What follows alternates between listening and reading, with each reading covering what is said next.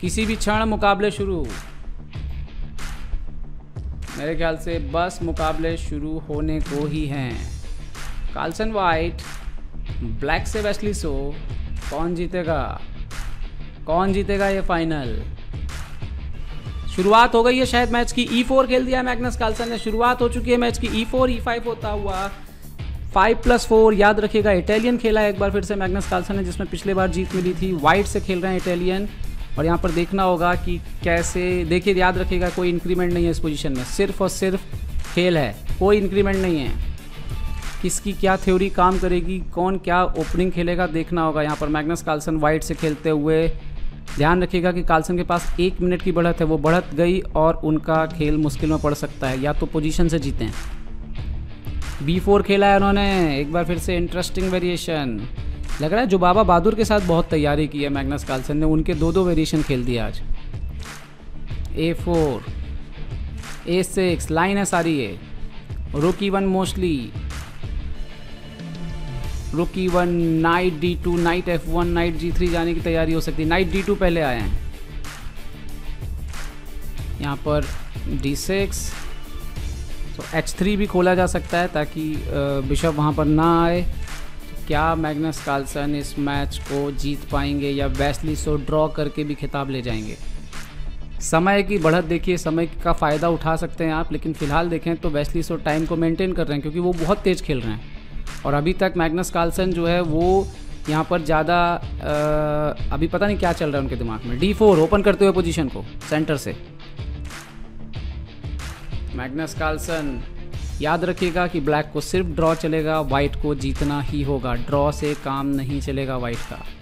C D four exchange होते हुए सी to D four मारेंगे दो पॉन सेंटर पर।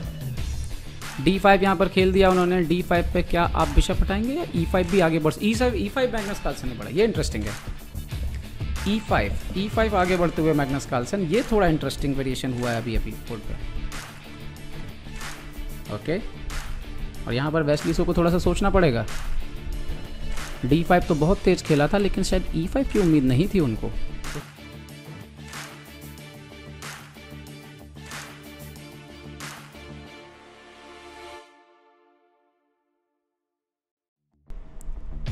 शतरंज, आपके दिमाग के लिए बेहतरीन खेल है। खेल बाकी सब छोड़े, यहाँ पे क्या पोजीशन आ रही है? देखिए नाइट जो है वो, ये दोनों पॉइंट काफ़ी अच्छे जो है स्टैब्लिश हो गए हैं यहाँ पर।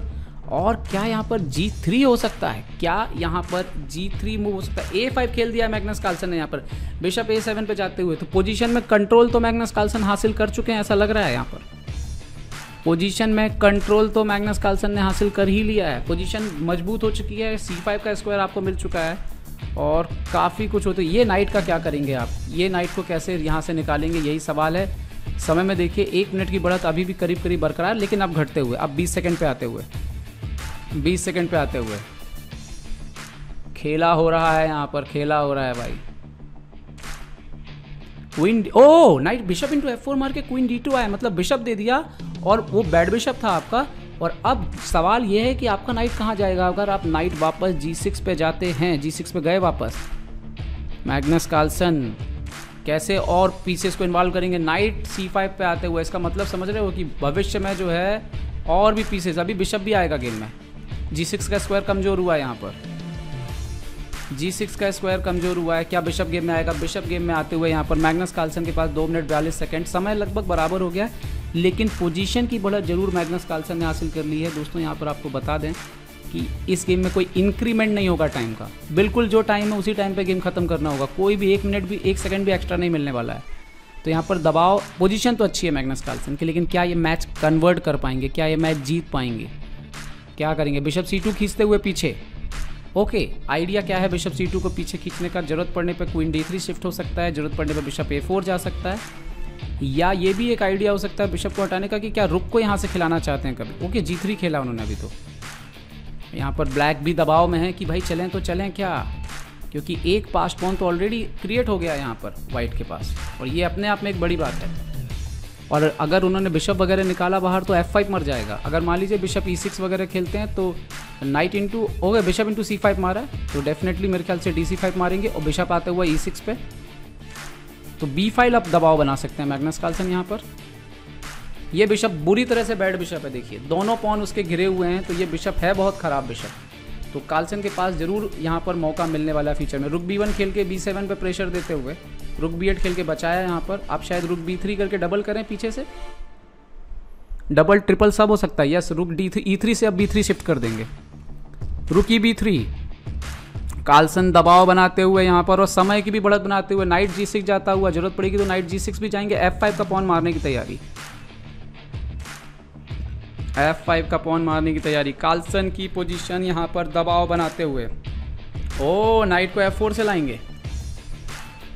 एफ़ फोर से जाएँगे इस बिशप पर अटैक और ये जो पोजीशन है, वो डेफिनेटली थोड़ी सी मुश्किल बढ़ चुकी है यहाँ पर वेस्ली सो की बिशप डी सेवन पे हटते हुए बिशप डी सेवन पे हटते हुए एच फोर खेला है मैग्नस कार्लसन ने यहाँ पर। बिशप ए फोर पर आया है एक्सचेंज करने के लिए लाइट कलर का बिशप और ये क्या कम हो सकता है वेस्ली सो का? रुक बी टू खेलते हुए वेस्ली सो दबाव मेंटेन करते हुए बी फ़ाइल पर वो बोल रहे हैं, आप मार लीजिए, कोई दिक्कत नहीं, मैं क्वीन से मारता हूँ, और अभी भी मैं गेम में बेहतर हूँ। गेम में बेहतर तो ठीक है टाइम में 45 सेकंड का अंतर है। वो जो अंतर है, वो भी मेंटेन कर लेंगे तो मैच जीत जाएँगे Magnus Carlsen queen c three a five के पॉन को बचाया यहाँ पर।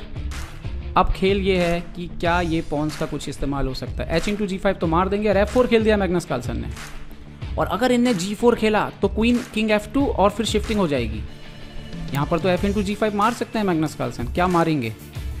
उनका किंग भी थोड़ा खतरे में आ सकता है। ये दबाव में है क्योंकि ए फाइव पे भी और डी फोर पे भी प्रेशर रहेगा इस नाइट की वजह से। तो मैग्नस कार्लसन के लिए इतना आसान नहीं होगा। उन्होंने किंग एफ़ टू खेला है यहाँ पर। नहीं मारा है अभी तो। ओके अपोनेंट ने खेला रुक एच टू अब शायद मार सकते हैं। एफ़ इन टू जी फाइव क्या ऐसा करेंगे? ओके मार दिया उन्होंने। रुक एच टू आते हुए। नाइट पिन किंग को हटना होगा। किंग को हटना होगा, तभी कुछ हो सकता है। किंग को हटना होगा और उसके क्वीन एफ़ थ्री आया मैग्नस कार्लसन अभी उनका आइडिया है queen into d five allow कर रहे हैं। वो बोल रहे हैं, आप नाइट डी फोर मार लो, मैं क्वीन इंटू डी फाइव मार लेता हूँ। नाइट इंटू डी फाइव यहाँ पे मार दिया। अभी queen into d five Magnus Carlsen आते हुए। वो हो हो दोस्तों, अब मेरे को थोड़ा सा मेरे को भी मैंने एसी ठंडा कर दिया तो एक तो उसकी ठंड लग रही है और दूसरा पोजीशन बड़ी खतरनाक हो रही है। समझ नहीं आ रहा है यहाँ पे क्या होने वाला है।